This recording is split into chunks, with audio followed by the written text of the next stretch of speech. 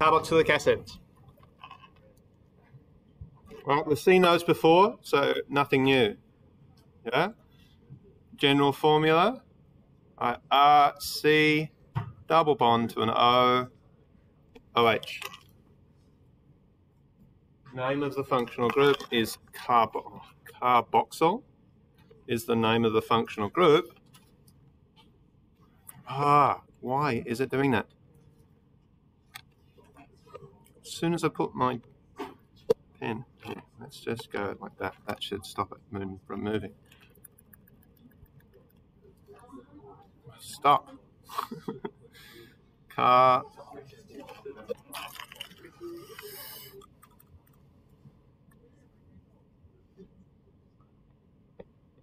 Right, carboxyl is the name of the functional group.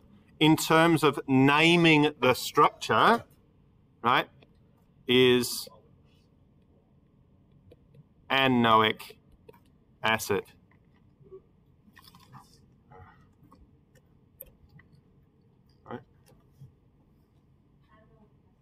So anoic acid, something anoic acid, right?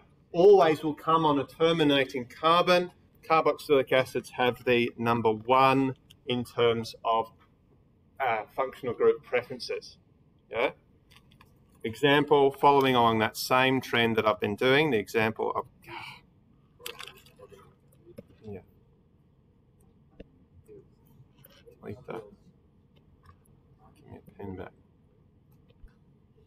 All right.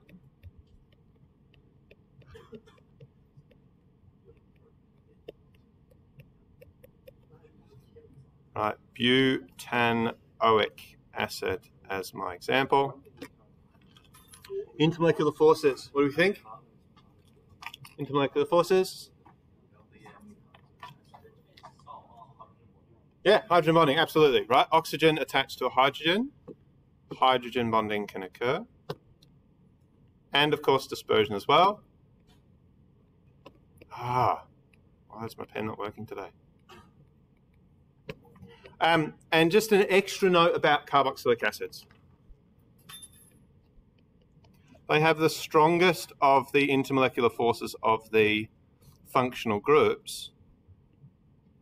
And that's because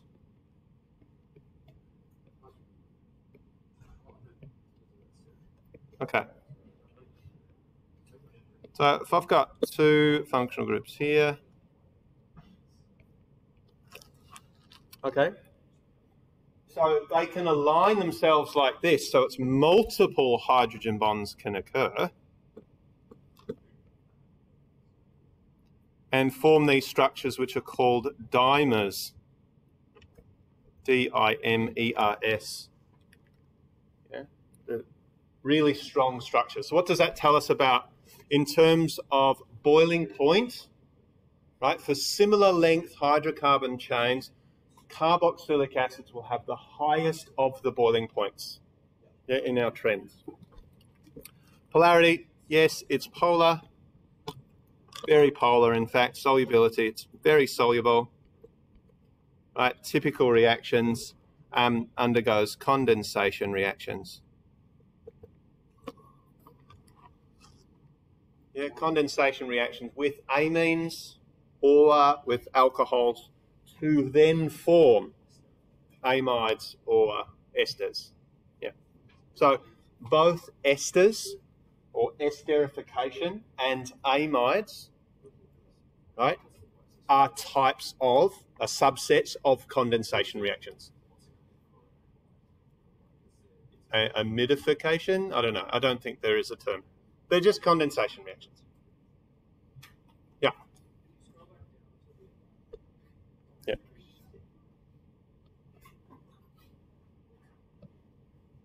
It's called a dimer. Yeah, where it's just how they stack. It's like I've got one carboxylic acid sort of inverts, and we can see I've got those multiple hydrogen bonds that can form. Uh, just that they can form, yeah? So if you're given a question that says something like, compare, uh, like, uh, give a comparison of the boiling points and examples between the bonding of ethanol versus ethanoic acid and explain why. And you would say both, so similarities, comparing, similarities is that both ethanol and ethanoic acid form hydrogen bonds between molecules. The strength of the hydrogen bonds in ethanoic acid is stronger because of the ability, because of multiple hydrogen bonds can form, yeah, and can form a dimer structure. Amides, amide and esters are similar. Right, we're only going to look at primary amides. So it's like an amine attached to a, uh, a carbonyl carbon.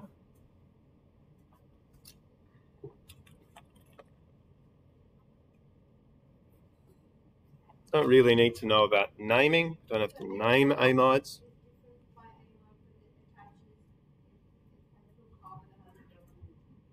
Yeah, so notice how the difference between carboxylic acids and amides is instead of this OH here, I've got NH2.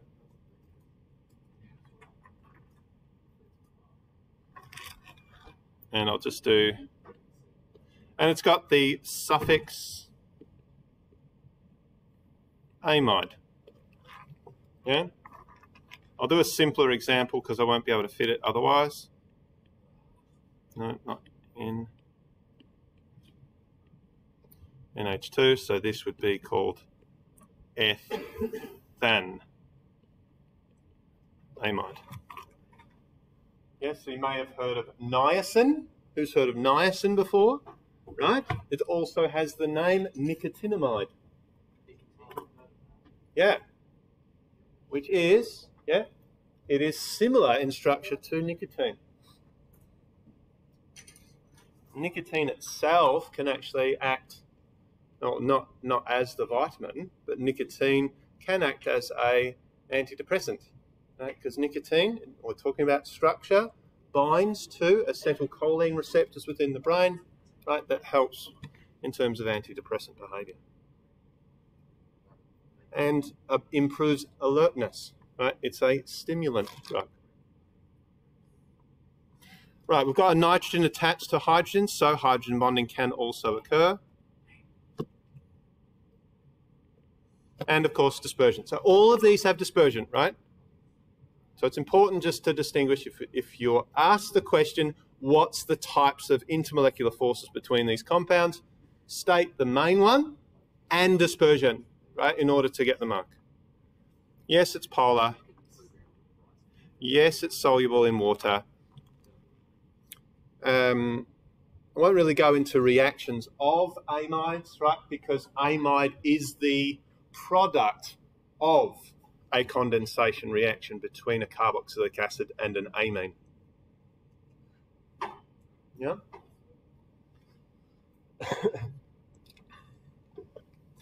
In terms of boiling point, it would have a lower, still, still hydrogen bonding, right? But it has a lower boiling point than the carboxylic acid equivalent and that's because the nitrogen only has a single lone pair. This oxygen up here has two, right? So we're reducing the uh, amount of hydrogen bondings able to be formed. Esters. R, C double bond O, O, and R. So we've got that two in between.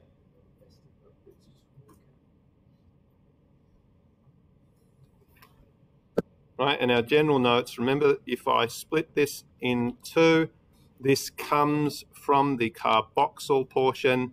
This comes, oh, I hate. And this comes from the hydroxyl component.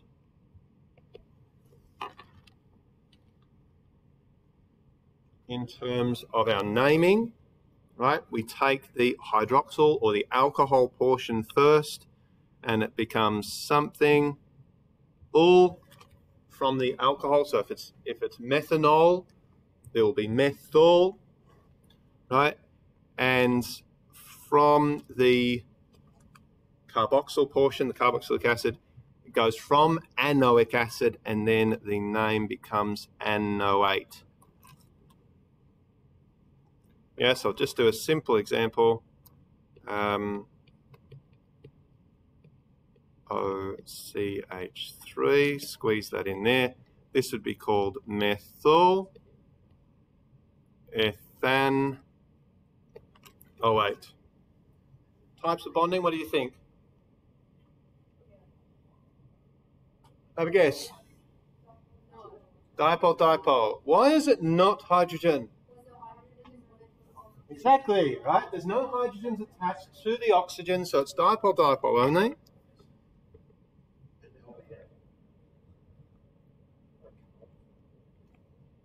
Yeah, and dispersion. Yeah, we don't really refer to them as London dispersion forces in, in VCE, so just dispersion is sufficient. Yeah? They're polar. They're slightly soluble in water. Yeah? And we can think based off their bonding, you could position them in terms of their relative solubility and their relative boiling points compared to similar sized molecules.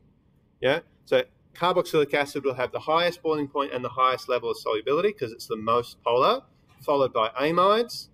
Then your um, alcohols will come next, and then your esters and your haloalkanes. Yeah.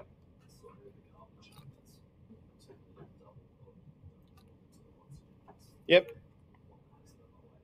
Yes, that's right. Yeah, so look for where the double bond is, split it in half. Where the single bond oxygen is, is going to be the alkyl or the, the ul part, and the oate part will be where the double bond O is. So it's important that if you're ever asked to name an ester, be mindful of the orientation in which the ester is drawn. Yeah? Because the C double bond O could be on the right hand side or it could be on the left hand side as it is drawn. Yeah? So don't think about going from left to right ever in terms of naming structures. Identify the C double bond O, that becomes the oate part, and the other part is the UL part. Um, in terms of reactions, as we know with with esters, right? Methyl fatty esters, we've seen those before, way back in the start of Unit 3. They undergo hydrolysis. Yeah? Undergo hydrolysis back to the alcohol and the carboxyl portion.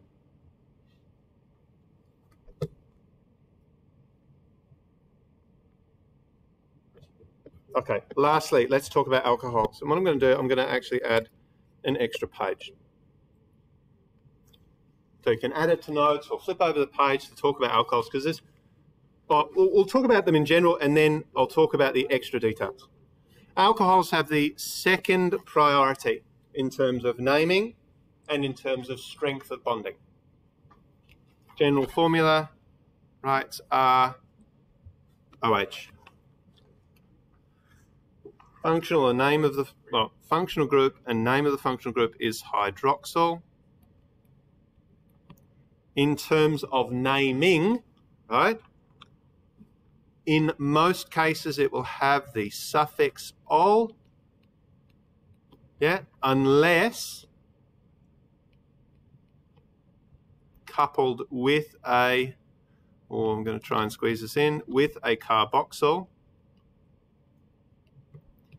in which it has the prefix hydroxy. I don't know if you can fit that in or add that to your notes somewhere. So, so ethanol, right? So if we had the example, just go down here and show you an example. So ethanoic acid, if I had an OH here, right, that would be called hydroxyethanoic acid. Yeah? So if I've got a carboxylic acid, we use the prefix hydroxy. Example, right? Butan 1-ol, intermolecular forces, hydrogen bonding, it's polar, it's soluble, um, undergoes lots of reactions. We know, obviously, pretty much all of them do combustion.